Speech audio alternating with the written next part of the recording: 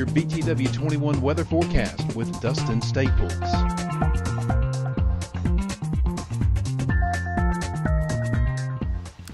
Good evening to you, Martin Henry County. It's Weatherman Dustin Staples here with you. And of course, uh, Patrick County seemed to be the winner with any snowfall around the area. They got it to between a coating up to about an inch and a half in some parts of the region. Other areas in Martinsville, Henry County got it up to about a coating to about an inch and a half or so, and we're going to be seeing that uh, snow come to an end, and then the rain to come to in the play later on to this afternoon.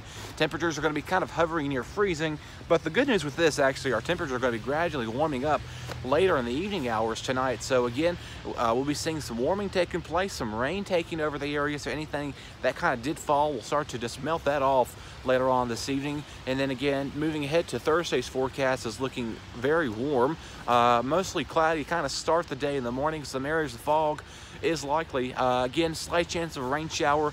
We could see a few peaks of sunshine later in the afternoon uh, with this taking place. So there is some good news for some sunshine taken across the area. Uh, temperatures will be above freezing at night, and you see that uh, right there too. Uh, we kind of want to report you about 400, a little bit over 450 power outages are being reported in parts of Franklin County. Uh, of course, they're going to be starting to work on that gradually. Martinsville, Henry County, kind of just seeing very light to spotty outages.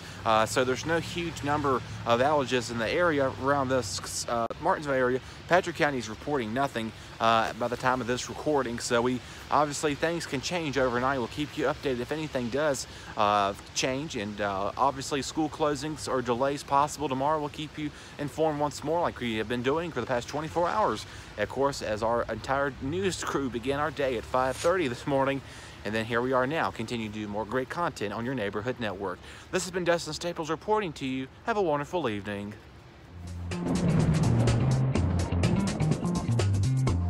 Your BTW 21 weather forecast with Dustin Staples.